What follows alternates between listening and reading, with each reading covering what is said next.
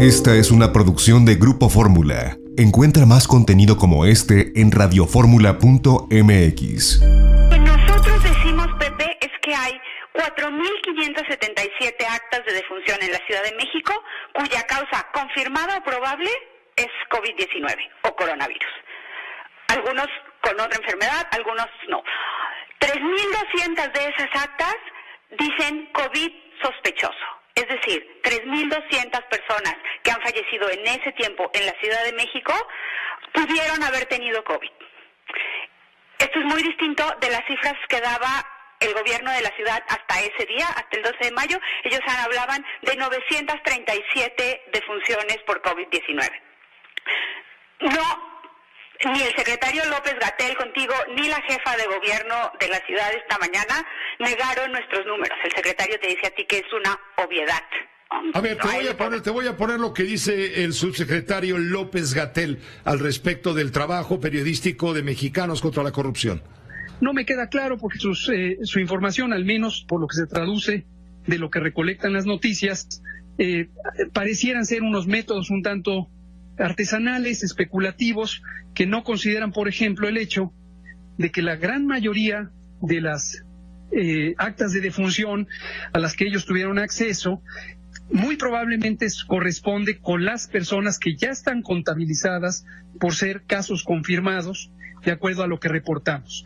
Y otra proporción, número aún por conocerse, con métodos rigurosos y profesionales que sigan estándares internacionales, corresponderá a la cantidad de personas que lamentablemente perdieron la vida, que no se les pudo hacer una prueba diagnóstica por laboratorio y que de acuerdo al alineamiento que tenemos desde abril deben ser registradas precisamente en los certificados de defunción y que en su momento serán contabilizadas y por supuesto, comunicada la información correspondiente de los análisis resultantes. ¿Qué opinas, eh, Galia García Palafox, respecto a esto que dice el doctor López Gatel?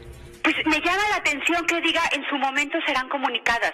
¿No tenemos los ciudadanos de la Ciudad de México derecho a conocer cuántos casos con sospecha de COVID hay? ¿Cuántas personas han muerto que podrían haber sido contagiadas de COVID-19?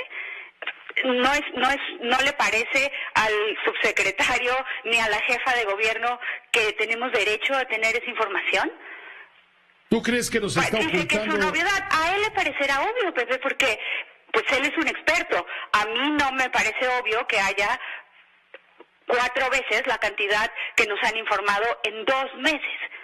Y, y además te dice que en su momento han pasado dos meses. ¿Cuándo va a ser en su momento?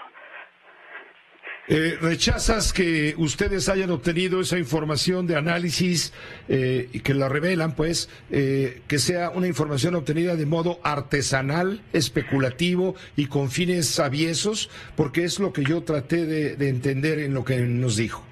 Por supuesto que lo rechazo. La información que tenemos es información oficial. Son las actas de defunción emitidas por la Dirección del Registro Civil del Gobierno de la Ciudad de México. Un acta de defunción solo se obtiene después de un certificado emitido por un médico. Son los médicos los que han dicho, aquí hubo COVID confirmado o tenemos sospecha de COVID. No hay nada artesanal en esto. La información viene directamente de ellos, de, las, de los datos del gobierno de la ciudad. Son datos que ustedes ubicaron entre el 18 de marzo y el 12 de mayo. Exactamente. En eh, después de analizar 4.577 folios de actas de defunción. 4.577 contienen la palabra COVID como causa de muerte, confirmada o sospechosa. Perfecto. en ese mismo lapso de tiempo, el gobierno de la ciudad dijo que había 937. Son cifras muy dispares. ¿Por qué crees tú que las cifras son a tal grado dispares? Yo creo que habría que preguntarle a la jefa de gobierno o al subsecretario por qué nos están dando estos números tan dispares. Porque ellos, al parecer, solo están dando las causas de muerte confirmadas, las que habían sido, las muertes que han sido confirmadas con una prueba. A ver, te voy a poner lo que dijo la jefa de gobierno, Claudia Sheinbaum, eh, durante la conferencia de prensa, videoconferencia de prensa esta, esta, este mediodía, eh, respondiendo a una pregunta específica justamente de mexicanos contra la corrupción y la impunidad. Eh, pregunta muy específica. no sé de dónde se obtuvo esta base de datos y sí es muy importante el tema de protección de datos personales, en primer lugar, porque está normado por la ley. segundo, no sé eh, cuál es la nota respecto a esto, porque hemos eh, trabajado ya y lo hemos anunciado, a lo mejor como no has estado ya en las em, conferencias diarias, eh, pero lo hemos dicho. En este caso, em, lo primero es que lo que se está informando, y nunca se ha escondido eso, es los fallecimientos que tienen prueba positiva de COVID. Eso es lo primero. Y lo segundo, hay una norma nacional que especifica, de acuerdo a los criterios epidemiológicos, bajo qué condiciones se reportan los fallecimientos de acuerdo a una epidemia. Esta es una norma nacional que debemos de cumplir todas las autoridades. Y bajo esta norma, lo que nosotros decidimos hacer es que además del seguimiento epidemiológico que se hace por cada una de las jurisdicciones sanitarias, que se crear una comisión autónoma independiente que está coordinada por dos de los epidemiólogos más representativos, eh, expertos y reconocidos a nivel nacional. Bueno, pues ese es el efecto que tuvo, el impacto que tuvo la pregunta específica de este trabajo periodístico en Galia.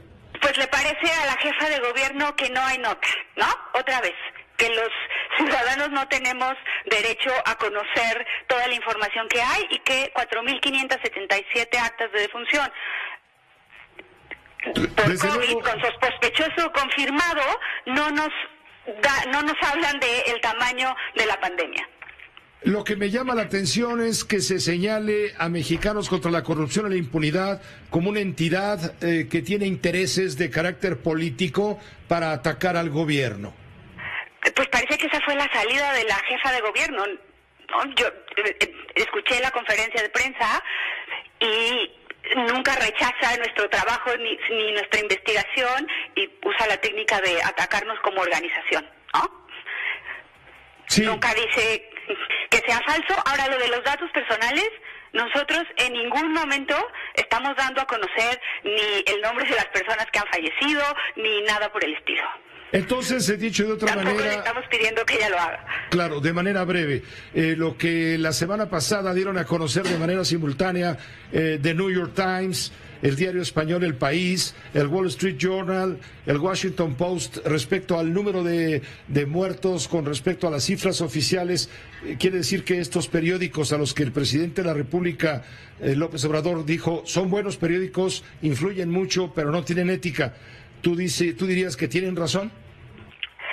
Yo lo que sí puedo decir es que nosotros tenemos 4.577 actos de defunción que prueban la información que nosotros estamos dando. Que el gobierno de la ciudad da una cifra muy distinta a esta y que pues seguiremos esperando que nos digan cuál es el número real. ¿Y ustedes Han pasado dos meses, dice que un comité epidemiológico lo va a evaluar, no nos dice cuándo tampoco. Entonces, según Mexicanos contra la Corrupción y la Impunidad, hay tres veces más muertos respecto al número que nos dan a conocer las autoridades, por lo pronto en la Ciudad de México. Hay tres veces más actas de defunción cuya causa probable es COVID-19. Esta fue una producción de Grupo Fórmula. Encuentra más contenido como este en radioformula.mx.